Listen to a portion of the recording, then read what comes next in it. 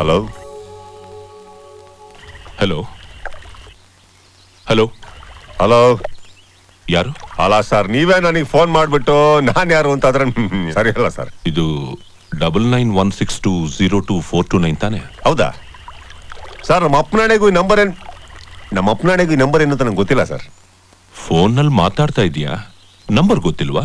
Phone ನಂದಲ್ವಲ್ಲ boss? ಏಯ್ ಆ ಫೋನ್ ನಂದು. ಅದಕ್ಕೆ ಏನೀಗ ಏಯ್ ನಿನ್ನ ಹತ್ರ ಇರೋ ಫೋನ್ ಓನರ್ ಮಾತಾಡ್ತಾ ಇದ್ದೀನಿ.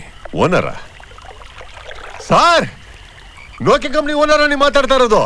ಸರ್ ನನಗೆ ಒಂದು ಫಿಫ್ಟಿ ಪರ್ಸೆಂಟ್ ಅಲ್ಲಿ ಒಂದೇ ಹ್ಯಾಂಡ್ಸೆಟ್ ಕೊಡಿ ಸರ್ ನಾನು ಸ್ವಲ್ಪ ಏನಾದರೂ ಅದೇ. ಕಿಂಡಲ್ ಬೇಡ. ನಾನು ಆದಿಶೇಷ. ಬ್ಯಾಂಗ್ಳೂರ್ ಆದಿಶೇಷ ಮಾತಾಡ್ತಾ ಇದ್ದೀನಿ.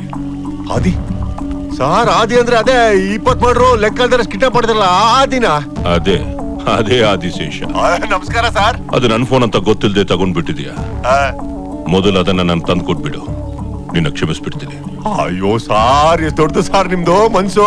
ಒಂದ್ ಕೆಲಸ ಮಾಡಿ. ಕ್ಷಮಿಸೋದೇ ಆದ್ರೆ ಫೋನಲ್ಲೇ ಕ್ಷಮಿಸ್ಬಿಡಿ ಸಾರ್. ನೆಟ್ವರ್ಕ್ ಚೆನ್ನಾಗಿದೆ. ನಾನು ಅಲ್ಲಿ ಬರೋದು ನನ್ನ ನೆಟ್ವರ್ಕ್ ಹಾಳಾಗೋದು ಯಾಕೆ ಹೇಳಿ? ಎಂ, ಬಿಟ್ಬಿಡಿ. ಇಡ್ಲಾ ಸರ್? ಏ ಏ, ಏ, ಹೇಳಿ ಸರ್. ನನ್ ಫಿಫ್ಟಿ ಲ್ಯಾಕ್ಸ್ ರುಪೀಸ್ನ ನುಂಗ್ ಹಾಕ್ಬಿಟ್ಟಿದ್ಯಾ ನೀನು? ಅದನ್ನು ಬಿಟ್ಟಾಕಿ ಬಾಸ್.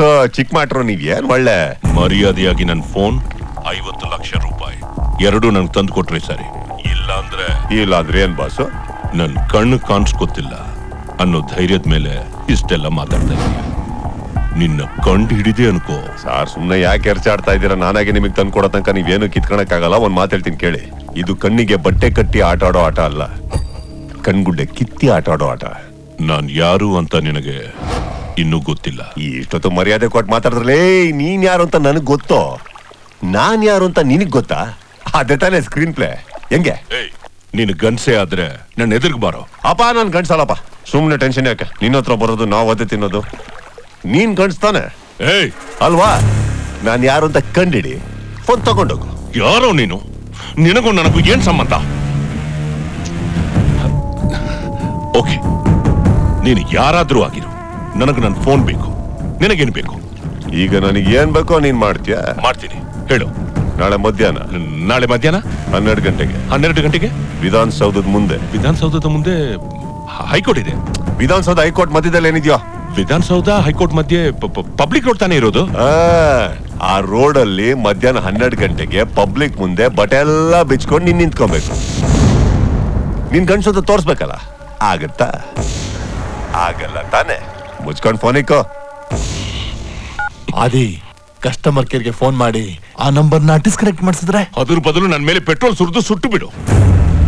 ಜೊತೆಲಿ ಅಣ್ಣನಾಗ್ ಹುಟ್ಟೋದಕ್ಕೆ ಸಾರ್ಥಕ ಆಗುತ್ತೆ. ಆ ನಂಬರ್ನ ಡಿಸ್ಕನೆಕ್ಟ್ ಮಾಡಿಸಿದ್ರೆ ನಮಗ್ ನಾವೇ ನೇಣು ಹಾಕೊಂಡಂಗೆ. ಕೊನೆ ತನಕ ಅವನ ಕಂಡಿಡಿಯೋಕೆ ಆಗಲ್ಲ. ಆ, ಅದೇನೋ ಸರಿ. ಆದ್ರೆ ಅವನು ಸಿಕ್ಕಿದ್ದೆ ಸಾಕು ಬಂದಿದ್ದೆ ಲಾಭ ಅಂತ ಸಿಮ್ ಕಾರ್ಡ್ನ ತೆಗೆದುಬಿಟ್ರೆ? ಇವನು ಮಾತಾಡಿದ್ದನ ಕೇಳಿಸ್ಕೊಂಡಿಯೋ ಇಲ್ವೋ?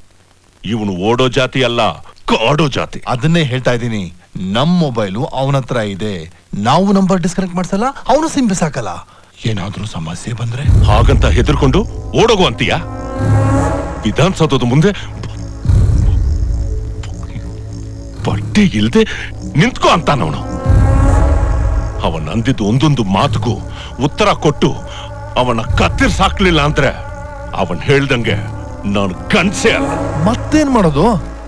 ಒಂದ್ಸಲ ರುಚಿ ನೋಡಿದ್ಬೇಕು ಮತ್ ಬರ್ಲೇಬೇಕು.